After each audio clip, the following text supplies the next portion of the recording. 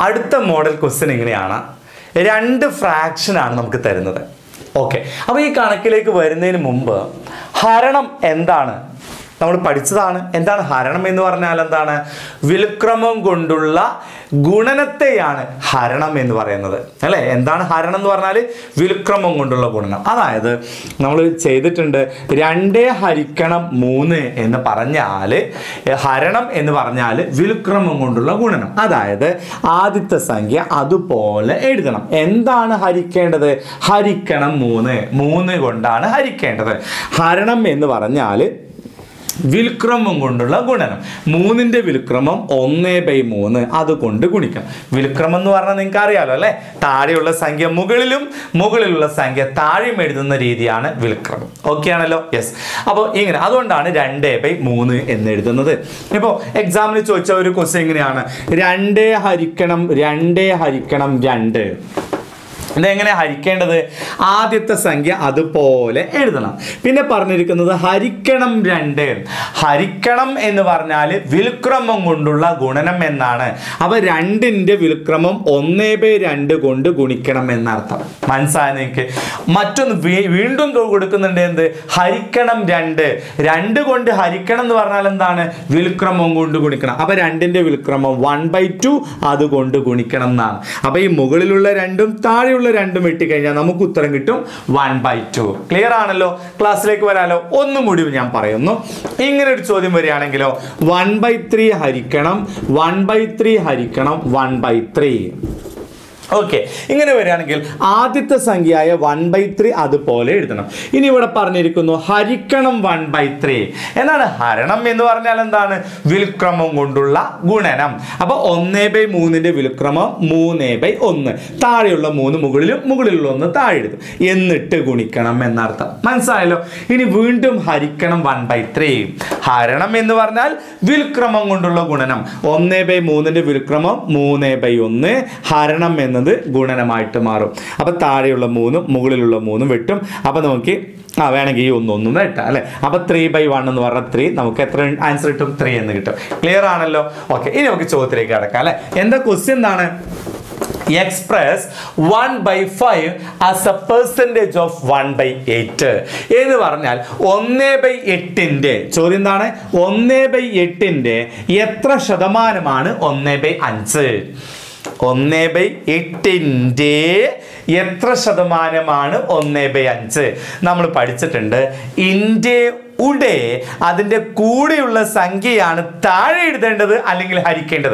താഴെ എഴുതുക എന്ന് പറഞ്ഞാൽ ഹരിക്കാന്നല്ലേ അർത്ഥം. മനസ്സായ നിങ്ങൾക്ക്. എന്റെ ഉടെ അതിന്റെ കൂടെയുള്ള സംഖ്യ കൊണ്ടാണ് ഹരിക്കേണ്ടത് അല്ലെങ്കിൽ അതാണ് താഴെ എഴുതേണ്ടത്. താഴെ എഴുതുക എന്ന് പറഞ്ഞാൽ അതിനെ ഹരിക്കുക എന്നല്ലേ അർത്ഥം. ഓക്കെ. അപ്പൊ മുകളിൽ എഴുതേണ്ട സംഖ്യ ഏതാണ്? ഒന്ന് ബൈ അഞ്ച്. അപ്പൊ ആദ്യം എഴുതേണ്ടത് ഒന്ന് ബൈ അഞ്ചാണ്. ഓടി നിങ്ങൾക്ക് മനസ്സിലായില്ലേ മുകളിൽ എഴുതേണ്ട സംഖ്യ തിരിച്ചറിയാൻ പറ്റുന്നുണ്ടോ നിങ്ങൾക്ക് ഇന്ത്യ ഉടയുടെ കൂടെയുള്ള സംഖ്യയാണ് താഴെ എഴുതേണ്ടത് അല്ലെങ്കിൽ ഹരിക്കേണ്ടത്. ഓക്കെ അപ്പോൾ എന്തുകൊണ്ടാണ് ഹരിക്കേണ്ടത്? ഒന്ന് ബൈ എട്ട് കൊണ്ടാണ് ഹരിക്കേണ്ടത്. മനസ്സിലായല്ലോ അപ്പോൾ ഒന്ന് ബൈ അഞ്ച് ആദ്യം എഴുതി ഹരിക്കണം അല്ലെങ്കിൽ ബൈ. കേട്ടോ ബൈ എന്ന് എഴുതാം. ബൈ ഒന്ന് ബൈ എട്ട്. ക്ലിയർ ആയില്ലേ നിങ്ങൾക്ക് ഇനി നമ്മൾ പഠിച്ചിട്ടുണ്ട് എന്താണ് ഹരണം എന്ന് പറഞ്ഞാൽ ഹരണം എന്ന് പറഞ്ഞാൽ വിൽക്രമം കൊണ്ടുള്ള ഗുണനം. അപ്പൊ ഒറ്റടിക്ക് തന്നെ നമുക്ക് വിൽക്രമത്തിന്റെ ഗുണനമായിട്ട് തന്നെ എഴുതി വെക്കാം. ഓക്കെ നിങ്ങൾക്ക് മനസ്സിലാക്കാൻ വേണ്ടി ഞാൻ സ്റ്റെപ്പ് സ്റ്റെപ്പായിട്ട് തന്നെ എഴുതാം കേട്ടോ ആദ്യം ഒന്ന് ബൈ അഞ്ച്. ഹരിക്കണം എന്ന് പറഞ്ഞാൽ എന്താണ്? വിൽക്രമം കൊണ്ടുള്ള ഗുണനം എന്നർത്ഥം അല്ലെ? അപ്പൊ ഒന്ന് ബൈ എട്ടിന്റെ വിൽക്രമം എത്രയാ? എട്ട് ബൈ ഒന്ന് അല്ലെ? അതിന്റെ ഗുണനം വിൽക്രമം കൊണ്ടുള്ള ഗുണനം. മനസ്സായില്ല നിങ്ങൾക്ക്. ഇനി വേണം നമുക്ക് ശതമാനം കാണാൻ. ശതമാനം കാണാൻ നൂറ് കൊണ്ട് ഗുണിച്ചാൽ മതി. ശതമാനം കാണാൻ നൂറ് കൊണ്ട് ഗുണിച്ചാൽ മതി. ഇതൊരു പ്രീവിയസ് ക്വസ്റ്റൻ ആട്ടോ അപ്പൊ ഇങ്ങനെയൊക്കെ നമുക്ക് എക്സാമിൽ ചോദ്യം വന്നിട്ടുണ്ട്. ഒരു ഫ്രാക്ഷന്റെ മറ്റൊരു ഫ്രാക്ഷന്റെ ശതമാനം കാണാനൊക്കെ നമുക്ക് എക്സാമിന് ചോദ്യം വന്നിട്ടുണ്ട്. അപ്പോൾ നമുക്ക് വെട്ടാം. ഓക്കെ ഈ ഒന്നൊന്ന് വെട്ട അല്ലേ? ഓക്കെ നോക്കിയേ അഞ്ചും നൂറ് എന്ന് പറഞ്ഞാൽ പത്തേ ഗുണിക്കണം പത്തല്ലേ നൂറ്? പത്തും പത്തും ഗുണിച്ചാൽ നൂറ്. അപ്പോൾ നമുക്കറിയാം അഞ്ചിന്റെ ഗുണിതമാണ് പത്ത്. അതുകൊണ്ട് അഞ്ചും ഒരു പത്തും വെട്ടി. ഇനി ഇവിടെ വേറെ പത്തുണ്ട് കേട്ടോ. ഓക്കെ അഞ്ചും പത്തും വെട്ടി. അഞ്ചിനോട് എത്ര ഗുണിച്ചാലാ പത്ത് കിട്ടുക? രണ്ടഞ്ച് പത്ത്. ആ രണ്ട് വലിയ സംഖ്യയുടെ സ്ഥാനത്ത് എഴുതണം. ഇവിടെ ഏതാ വലുത്? പത്ത് അല്ലേ? വലിയ സംഖ്യയുടെ സ്ഥാനത്ത് രണ്ട് എഴുതി. അപ്പോൾ ആൻസർ എട്ടേ ഗുണിക്കണം രണ്ട് രണ്ടിട്ട് പതിനാറും ഒരു പൂജ്യവും നൂറ്റി അറുപത് അറുപത് ശതമാനം എന്ന ആൻസർ കിട്ടുന്നു. ഉത്തരം നൂറ്റി അറുപത് ശതമാനം. ഓക്കെ അല്ലേ? അടുത്ത ക്വസ്റ്റ്യൻ ചെയ്ത് നോക്കാം.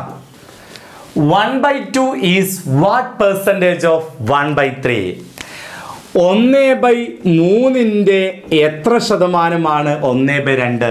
എന്നാണ് ക്വസ്റ്റ്യൻ ഒന്ന് ബൈ മൂന്നിന്റെ എത്ര ശതമാനമാണ് ഒന്ന് ബൈ രണ്ട്. ഓക്കെ അപ്പോൾ ഹരിക്കേണ്ട സംഖ്യ അല്ലെങ്കിൽ താഴെ എഴുതേണ്ട സംഖ്യ എങ്ങനെ തിരിച്ചറിയാൻ പറ്റും?